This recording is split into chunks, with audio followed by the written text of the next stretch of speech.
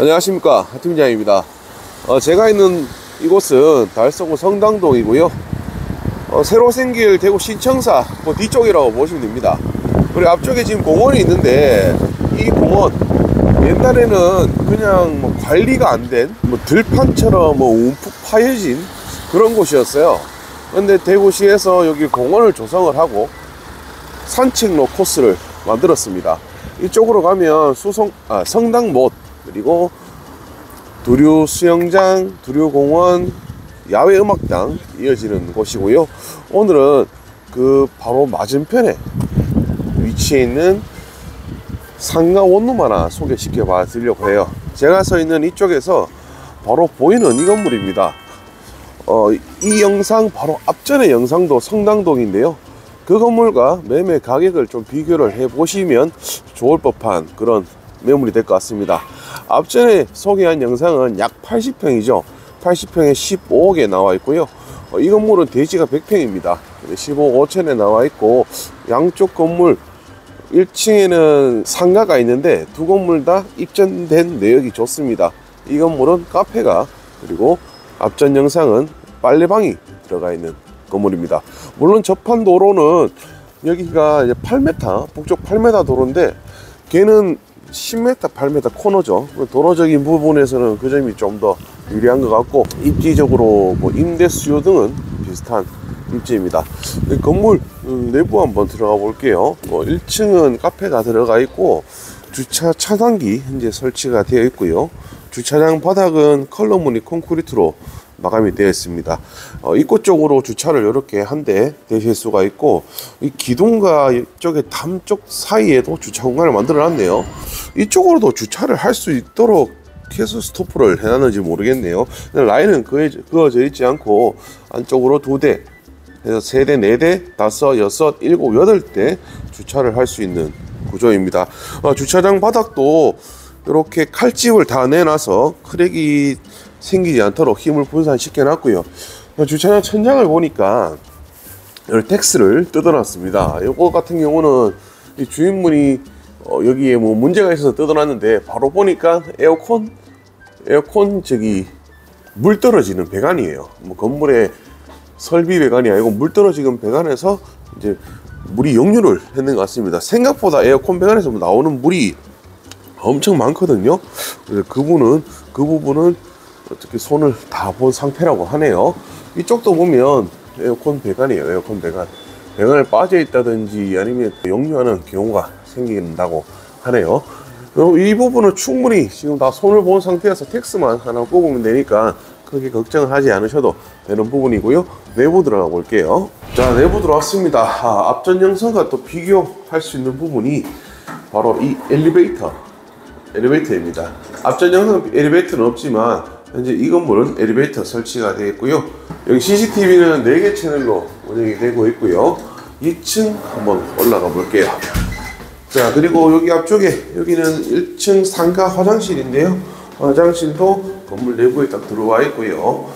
자, 2층 구조입니다. 2층은 어, 이렇게 하나, 두 개, 세 개, 네 개, 다섯 개 호실로 구성이 되어 있는데요. 원룸 3개와 3룸 2가구. 아무래도 대지가 넓다 보니까 3룸이 2가구 들어가 있네요. 3룸 임대료도 뭐 1억 2천, 9천만 원 이렇게 전세가 놓여져 있고요.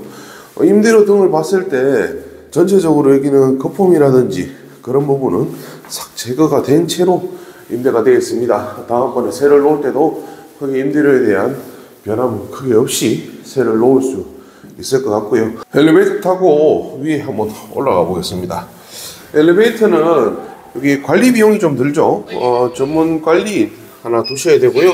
관리는 업체에 위탁하시면 한, 한 달에 10만원 꼴로 나옵니다. 그리고 엘리베이터는 전기세는 한 달에 한 7, 8만원. 그래서 넉넉하게 한 20만원 정도는 관리 비용으로 빼주셔야 되고요. 4층, 4층에 내려왔고 주인 세대 현재 월세로 세입자가 거주 중에 있고요. 그 앞으로는 두 가구가 마주하고 있는데 투룸이 두 가구 있습니다. 건물에는 원룸, 투룸, 3룸까지 그리고 주인 세대까지 있는 건물이고요. 엘리베이터까지 설치가 되어 있는 건물입니다. 자, 옥상으로 한번 나가 볼게요. 자 옥상 입구 앞에는 창고로 하나 만들어 두셨네요 그리고 옆에는 옆에 또 이렇게 뭐 창고식으로 하나 걸어 두셨는데 어, 이쪽으로 사람이 충분히 들어갈 수 있을 것 같아요 농담이고 여기는 뭐냐면 여기가 요즘에는 엘리베이터 기계실도 굉장히 간단하게 나오죠 근데 요, 요 건물에는 엘리베이터 기계실이 별도로 있습니다. 이쪽에 엘리베이터 기계실이 있어서 기계실 공간을 창고로 이제 쓰고 계시는 것 같아요. 내부에는 엘리베이터 기계실 올라가는 계단이 있고 그 계단에는 짐을 갖다 놓으신 것 같습니다. 그리고 그 위쪽에 어, 그 위쪽에 보면 어, 주인 세대 연결되어 있죠. 태양광 시스템 네, 설치가 되어 있고요. 비가 그치려고 하는 것 같아서 영상 촬영에 나왔는데 비가 아직 그치지는 않았네요. 조금씩 그치려고 하고 있습니다. 자, 주변은요, 바로 앞에 저기가 태양나눴습니다. 밑에는 대구 성, 지하철 1호선 성당본역, 서부정류장 역이죠. 지하철역을 충분히 이용을 할 수 있는 위치이고요. 그리고 앞- 옆쪽에는 새 아파트 하나 보입니다. 한양 수자인 아파트이고, 그리고 성당동. 현재 이쪽이 이제 주택이 있는 지역이라면 성당동에 저기 앞쪽에 아파트 단지 저기만 해도 한 거의 한 8천 세대 되죠. 그리고 바로 뒤쪽에는 어, 성당못 도류공원 야외 음악당 하는 입지 있는 건물입니다. 이 건물 내용 제가 설명을 드릴게요. 대지는 330제곱미터, 건물은 568.83제곱미터, 건축년도 2015년 8월 31일 날 준공이 났는 건물입니다. 현재 건물 매매가 15억 5천, 대출은 5억 6천만 원 있고요. 임대 보증금 5억 7,300입니다. 현재 인수가 4억 1,700만 원, 건물에 나오는 수익은 427만 원에 은행 이자 6억 6% 적용을 했습니다. 6% 적용하고 147만 원 수익이 남는 건물입니다. 건물 내용은 이렇게 설명을 드렸고요. 어, 오늘 건물은 지하철역도 인근에 위치해 있고요. 그리고 거주하시면서 산책 삼아 다니기에도 좋은 공원도 위치해 있습니다. 그리고 앞으로 대구 신청사가 또 다시 지어진다고 했지 않습니까? 기간은 조금 걸리겠지만 동네 분위기는 조금 더 밝아질 수 있는 위치에 있는 건물입니다. 자 오늘 매물 어, 영상은 여기서 까- 마무리하고요.